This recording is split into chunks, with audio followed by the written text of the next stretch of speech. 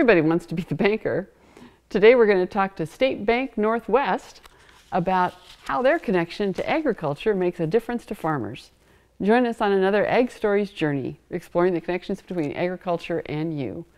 With thanks to our sponsors, Ag Enterprise Supply, located in Cheney, supplying everything you need to get the highest yields out of your crops, and State Bank Northwest, founded in Garfield and now headquartered in Spokane. State Bank Northwest offers full service banking on a first name basis. This is a, an interesting Ag Stories because we're going to talk about banking, which you wouldn't think about much if you were thinking about farming, but farming relies on uh, lines of credit and Lines of operating credit. term debts. That's exactly right. Yeah, no farmer has the money at the beginning of the year to be putting in all that. Uh, You are upfront. correct. And in today's environment, it is getting harder and harder to self finance. You are correct. And it was no different 100 years ago. And so I wanted to ask you a little bit about the history of, the, of where we are standing right now. Okay, There's been several name changes. Well, thank you. Well, we're standing in the little bank called uh, State Bank Northwest of Garfield. And the bank was originally chartered back in the fall of 1902 and was known as First State Bank of Garfield. In February of 1906, the bank moved to its current location, which is where we are now, 3rd and California Street here in Garfield. The bank survives the first national pandemic depression in 1907. It survived the World War II and World War I. It So, so uh, it made it through that 1907 pandemic and Yes. and rush on the bank. I think a lot of people have forgotten that there have been a lot of panics and and uh, issues over the years that banks have faced, You are including the war. including the World War One, World War II, um, the stock market crash in 2009. Uh, of course, now we've got the pandemic episodes that are happening Of now. 2020 of and- 2020. yeah, there's a- and so there's lots of concerns, and everybody's worried about stability of their financial institutions, which we feel quite confident in our ability to keep the doors open. Yeah. Well, one of the things you mentioned as we were chatting before was about how every little town used to have a bank, and That's true. I think in the turn of the century, 1900s, you know, there's probably three or four little community banks in each town. And as time has gone on, they've consolidated or, been shut down because of the Great Depression or financial hardships. And very few of them survive. And little community banks uh, are even harder to find. and this particular little community bank, you were telling me about the the uh, multi generational nature of the bank, which is uh, kind of a parallel to multi generational farming. Absolutely. Uh, thank you. Um, the Johnson family came here from Minnesota in 1897 and opened up this little bank in 1902. And we still have a Johnson present on our director board of directors. And so that's the fourth generation Johnson. So we're, we're still here. It's interesting. What are some things that you've seen uh, over the years where banking has been an integral part of the ag? Explain for people um, what that connection is and why it's so important to have the relationship. Well, we're a relationship bank, and in today's environment, uh, people like to come in, visit with us, have the capacity to call on the phone and visit uh, directly rather than a computer system. We know our customers' first name basis. Again, we've been working with them for generation farm families. We've got some uh, young men that are farming now that are fourth and fifth generation from the turn of the centuries. And so it's all about trust, communication, loyalty, and dependability, and that's what these little community banks do.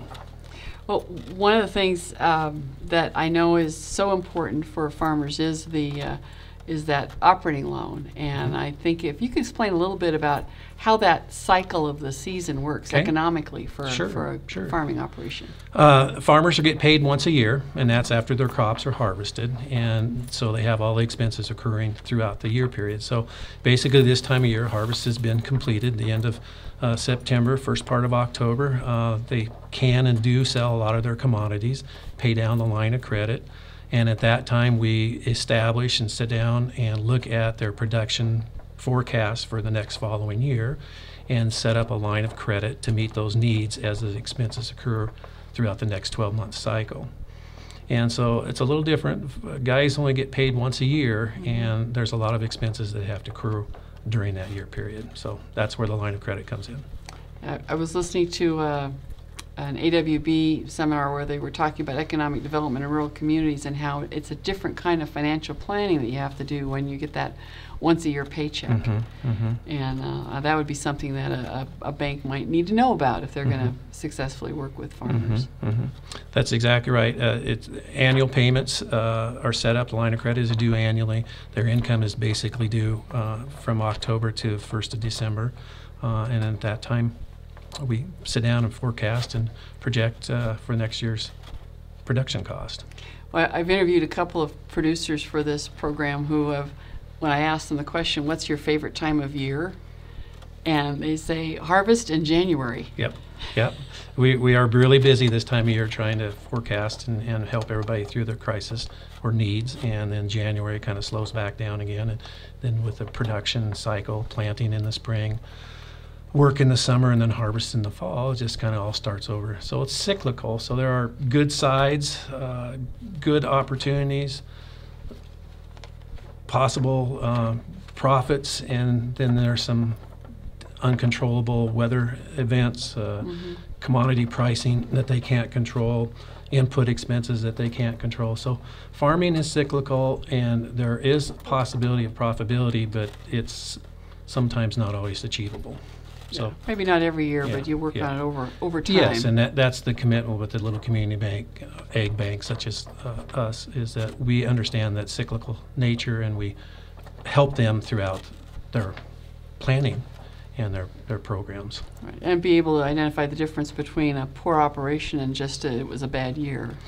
Yes, uh, that's exactly right. And the operations, all these guys are professional, hardworking, knowledgeable, dependable, and they just can't control. Uh, weather is the biggest obstacle. Pricing is the next obstacle, and we understand it's uh, cyclical, and uh, they might not be 100% profit this year, but uh, we'll stay with them, and over the long run, they they continue to make a profit. Well, you are that small community roots, but you have branched out to uh, to now it, it lists on your website headquartered in Spokane. What what made the, made you make that shift? Yeah, it appears back in uh, 1997 or so, uh, the Johnsons were, were thinking of maybe trying to retire and step out. There's a group of investors that came out of Spokane thinking the need to develop a small community bank in Spokane would be beneficial. And in 1999, they went to North Point out there in uh, Mead area in Spokane, and that was very well received. And then they opened up a branch in the um Spokane Valley in 2000. And, uh, for for the other need.